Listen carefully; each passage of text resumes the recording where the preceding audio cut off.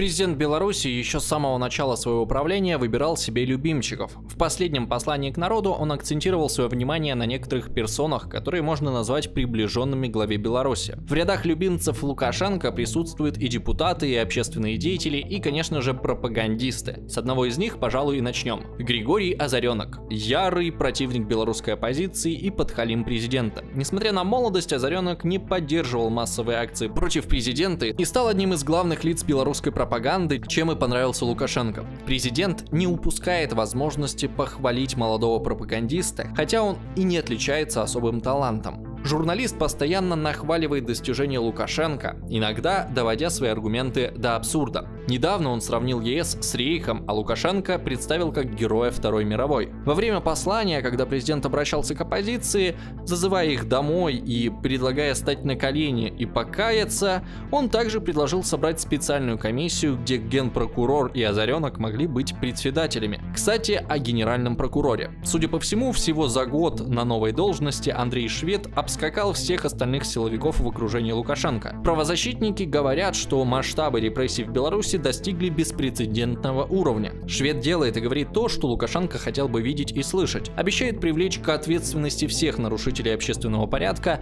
обвиняет поляков в ликвидации мигрантов. За свою долгую политическую карьеру Лукашенко время от времени уставал от своего ближайшего окружения, но для Натальи Качановой этот момент еще не наступил. Глава страны регулярно находит возможность похвалить ее буквально на ровном месте. Недавно послушная и льстивая лидеру страны Качанова по домыслам является главным кандидатом в президенты в 2025 году. В своем послании к парламенту Лукашенко предоставив слово только двум депутатам Палаты представителей – Олегу Гайдулевичу и Марии Васильевич, которая спросила о защите животных. Девушка представляла национальное собрание, хотя является самым молодым депутатом. Если Гайдулевич заслужил такой чести многолетними преданными речами, то у Васильевич есть еще одно преимущество. Она просто нравится Лукашенко. И симпатия не была испорчена даже поведением девушки в августе 2020 года, когда она посетила раненых и избитых протестующих в Минской больнице скорой медицинской помощи и принесла им извинения за действия госчиновников.